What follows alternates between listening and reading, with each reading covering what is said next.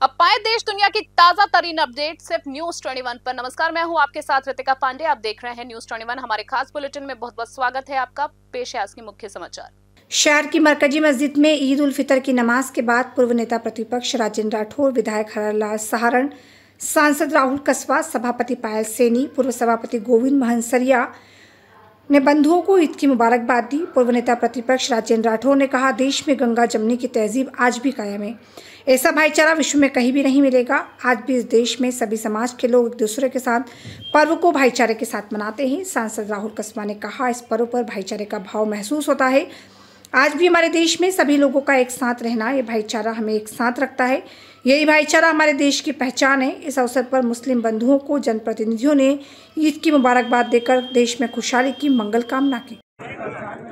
पवित्र त्यौहार, रोज़ों के बाद खुदा की इबादत का त्यौहार बरसों की परंपरा है। ये गंगा यमुना संस्कृति चूरू की ताकत है।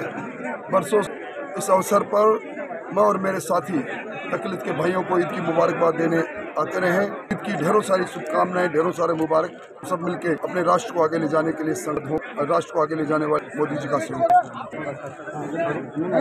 आगरा गए हैं और आगे सभी संध्या जी में हैं। बहुत खुशियाँ आए ऐसी दुआ करना और भाईचारा है। इसी को लेकर हम बढ़े हैं। और इसी को मांगे कि चूपा क्षेत्र के भाइयों का मुबारकबाद।